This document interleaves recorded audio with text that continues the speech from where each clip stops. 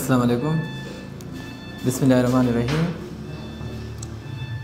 The students today we will do our comprehension question because we have completed our first chapter and now we will do the comprehension question so open your book set page number six and listen to me carefully یہ جو کمپرینشن question کرنے ہوتے ہیں یہ آپ نے خود کرنے ہوتے ہیں، کیونکہ سبق پڑھایا جا چکا، آپ کو سمجھایا جا چکا۔ لیکن گائیڈنس کے لیے میں، ٹھیک ہے، سمجھا دیتا ہوں تھوڑا سا، لیکن پھر آپ یہ خود لکھیں گے اور اپنے پیرنٹس کو دکھائیں گے۔ So listen to me carefully answer the following questions describe an event of justice from the life of حضرت عمر حضرت محمد صلی اللہ علیہ وسلم from text describe an event ایک واقعہ بیان کیجیے ڈسکرائب بیان کیجیے ایک واقعہ آف جسٹس انصاف کا فرام دا لائف آف حضرت محمد صلی اللہ علیہ وسلم حضرت محمد صلی اللہ علیہ وسلم کی زندگی سے فرام ٹیکسٹ اس سبق سے اس سبق سے کوئی واقعہ بیان کیجیے پیغمبر پاک صلی اللہ علیہ وسلم کے انصاف کے حوالے سے تو آپ کو پتہ ہے کہ once a once a Quraysh woman, woman was found guilty of stealing. The Holy Prophet ﷺ decided the case with justice and fairness. پیغمبر پاک صلی اللہ علیہ وسلم نے ایک دفعہ ایک خاتون عورت مجرم قرار پائی، مجرم ٹھہری چوری کرتے ہوئے The Holy Prophet صلی اللہ علیہ وسلم decided the case with justice. پیغمبر پاک صلی اللہ علیہ وسلم نے اس مقدمے کو انصاف کے ساتھ نمٹایا، انصاف کے ساتھ اس کا فیصلہ کیا اینڈ فیئرنیس اور اچھائی کے ساتھ in spite of the fact اس حقیقت کے باوجود that some people wanted to hush up the whole affair کہ کچھ لوگ اس معاملے کو دبانا چاہتے تھے اس کچھ لوگ اس معاملے کو دبانا چاہتے تھے in order to save the honour of the family Quraish Quraish خاندان کے وقار کو بچانے کی خاطر تو یہ ایک بہت بڑا واقعہ ہے جس میں پیغمبر پاک صلی اللہ علیہ وسلم نے انصاف کا دامن تامے رکھے ہوئے انصاف کے ساتھ فیصلہ دے دیا number second question is that what is refer to as a piece of fire by the holy prophet صلی اللہ علیہ وسلم پیغمبر پاک صلی اللہ علیہ وسلم نے کس چیز کو آگ کے ٹکڑے سے تجبیح دی تو آپ کو پتہ ہے کہ ایک جج کو دھوکہ دے کر فیصلہ اپنے حق میں کروانا، یہ ایک طرح سے ایسا ہے کہ اس شخص نے اپنے لیے آگ کا ٹکڑا خریدا۔ آپ کی کتاب میں اس کا آنسر موجود ہے۔ Any kind of gains made by deceiving a جج in order to get a positive decision in is refer to as a piece of fire by the holy prophet صلی اللہ علیہ وسلم۔ کسی قسم کا فائدہ حاصل کرنا، جج کو دھوکہ دے کر، اسے آگ کے ٹکڑے سے تجویز دے دی گئی۔ Number next question is that why was an inquiry initiated by حضرت محمد صلی اللہ علیہ وسلم while resolving the land dispute اس زمینی تنازع کو حل کرنے کے دوران پیغمبر پاک صلی اللہ علیہ وسلم نے انکوائری کی ابتدا کیوں کی؟ تفتیش کی ابتدا کیوں کی؟ دیکھیں، ہر معاملے کی تفتیش ہونی چاہیے۔ پہلے لوگوں سے معلومات حاصل کرنے چاہیے کہ اصل بات کیا ہے۔ ایسے کوئی بات نہیں کرنی چاہیے یا کوئی فیصلہ نہیں کرنا چاہیے۔ تو اس کی ابتدا کیوں کی گئی؟ Inquiry was initiated by the holy Quran by the holy prophet صلی اللہ علیہ وسلم while resolving the land dispute in order to decide the matter with justice اس معاملے uh, اس تنازع کے حل کے لیے تفتیش کی ابتدا کیوں کی؟ اس لیے کی گئی تاکہ معاملے کو، معاملے کا انصاف کے ساتھ فیصلہ کیا جائے۔ جو بھی مقدمہ ہو، انصاف کے ساتھ فیصلہ کیا جائے۔ Number, next question is that how does the holy Quran emphasise justice Quran پاک انصاف پر کس طرح زور دیتا ہے؟ قرآن پاک انصاف پر کس طرح زور دیتا ہے؟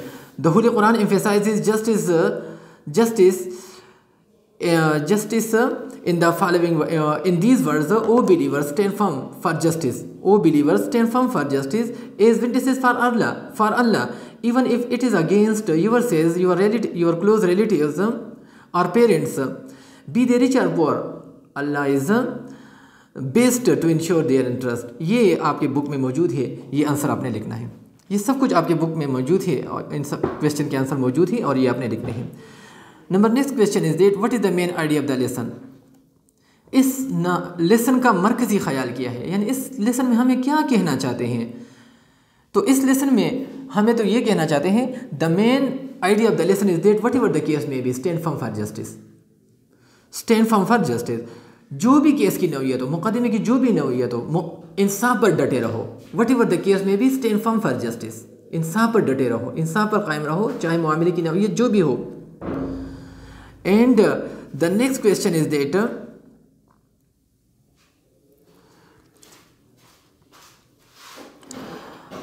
how does the holy Quran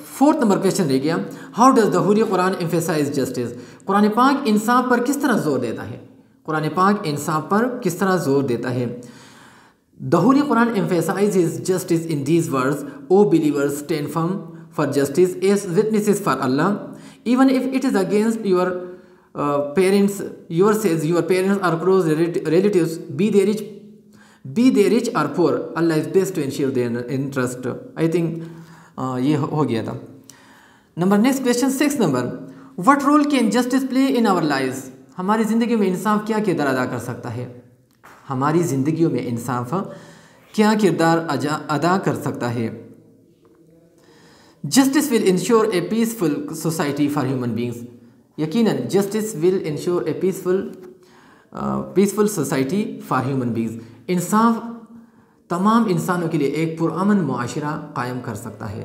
جب معاشرے میں انصاف ہوگا، تو اس کے نتیجے میں ایک پرامن معاشرہ وقوع پذیر ہوگا۔ What role can justice play in our lives تو justice will ensure a peaceful society for human being these are the questions and answers that you will have to note it down in your note books اب اگلے آگے جو ہے نا لکھا ہے B number respond to each statement by writing and explanation as why you agree or disagree یہاں کچھ اسٹیٹمنٹ دے دی گئی ہے اور اس کے سامنے لکھا ہے کہ آپ کیوں ایگری ہے اتفاق کرتے ہیں اس بات سے یا کیوں ڈس ایگری ہے یا اتفاق نہیں کرتے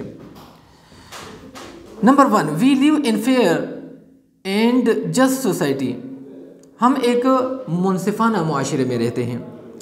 تو اس کے ساتھ اگر آپ ایگری ہے تو ایگری کے حق میں لکھنا ہے اور اگر ڈس ایگری ہے تو ڈس ایگری میں لکھنا ہے۔ تو اس کے لیے تو ہم کہہ سکتے ہیں کہ I agree I agree because دیکھو آئی ایگری آپ لکھ سکتے ہیں کہ I agri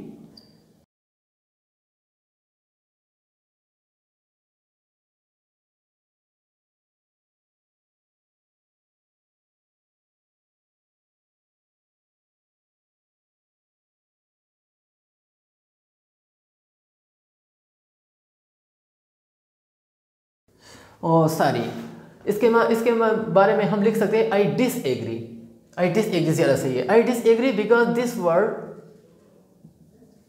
is full of injustices یہ دنیا نا انصافیوں سے بری ہوئی ہے. تو اس کے ساتھ اتفاق ہم نہیں کرتے کیونکہ اس دنیا میں انصاف نہیں ہے آج کل. یہ دنیا نا انصافیوں سے بری ہوئی ہے. تو اس کے لیے میں نے کہا آئی ڈس ایگری اگر ایگری میں آپ لکھیں گے تو ایگری کے حق میں پھر آپ نے لکھنا ہے۔ I disagree because this word is full of injustices okay number two دو میں لکھا ہے it is important to treat others with just and fairness دوسروں کے ساتھ عدل و انصاف سے اور سچائی کے ساتھ پیش آنا ضروری ہے۔ یہ انتہائی ضروری ہے۔ تو اس کے ساتھ آئی ایگری دو نمبر میں آپ لکھ سکتے ہیں I agree because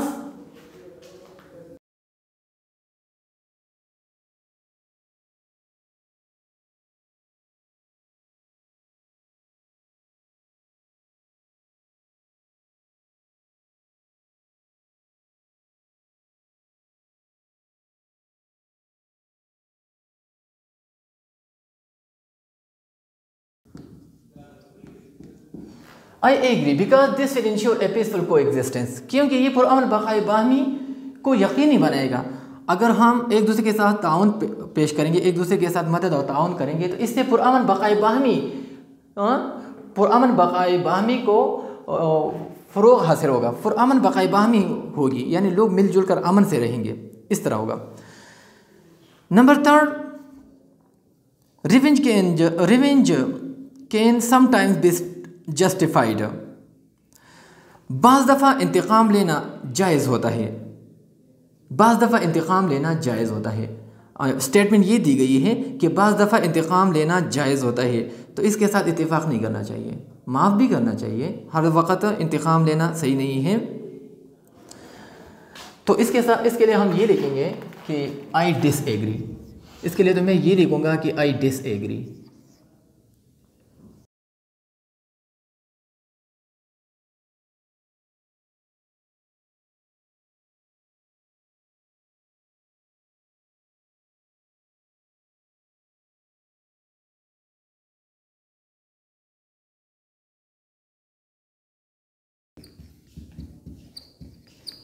I disagree because it will destroy the rule of law اگر ہم انتخاب لیں گے، تو پھر یہ قانون کی حکمرانی کو نقصان، قانون کی حکمرانی کو تباہ کرے گا۔ یہ انتخاب لینا قانون کی حکمرانی کو نقصان دے گا۔ اس طرح نہیں ہونا چاہیے، معاف بھی کرنا چاہیے۔ اوکے؟ اچھا یہ دو تین جملے دیے گئے تھے۔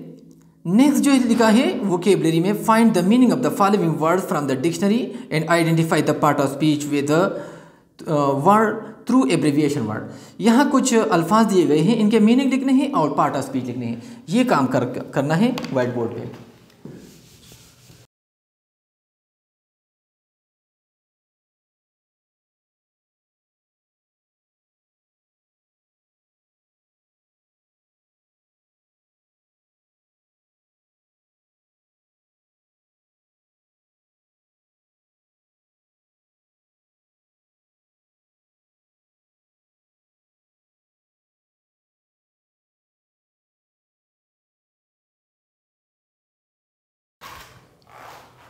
پارٹ آف اسپیچ یہ جو الفاظ دیے گئے ہیں، یہ ورڈز لکھنے ہیں اور اس کے پارٹ آف اسپیچ لکھنے ہیں۔ پہلا جو لفظ ہے opposed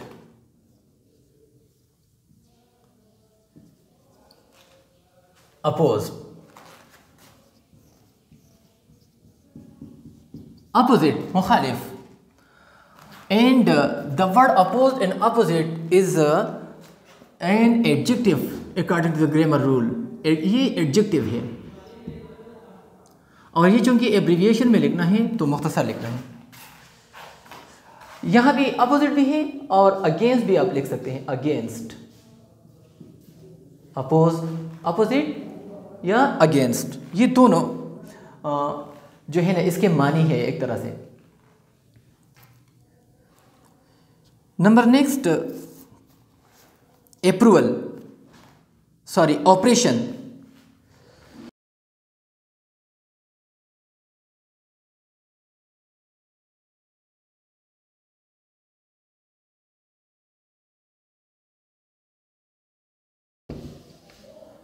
operation exploitation operation means یا ایکسپلوٹیشن مینس تباہی نقصان آپریشن یا ایکسپلوٹیشن مینس تباہی بربادی وغیرہ اور یہ ناؤن ہے ناؤن یہ ناؤن ہے۔ According to grammar rule third approval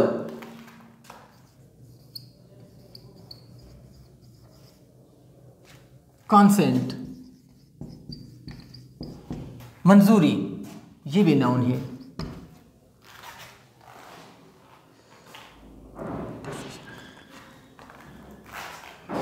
decision conclusion decision فیصلہ. کنکلوژن کوئی اختتامی فیصلہ وغیرہ. ڈسیجن کنکلوژن کنکلوژن بھی ایک ناؤن ہے.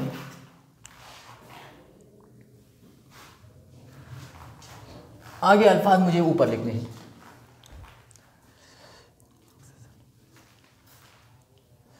ایئر سکسیسر جانشین یا وارث وارث اور یہ ایئر یا سکسیسر یہ بھی ایک ناؤن ہے. یہ بھی ناؤن ہے.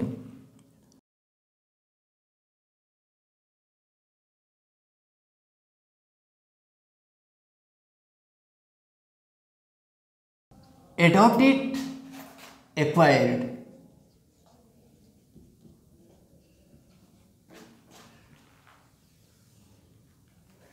اڈاپٹیڈ یا ایکوائرڈ اختیار کرنا. یہ ورب ہے. This is a verb according to the English grammar یہ ورب ہے. And the last word is distinction distinction.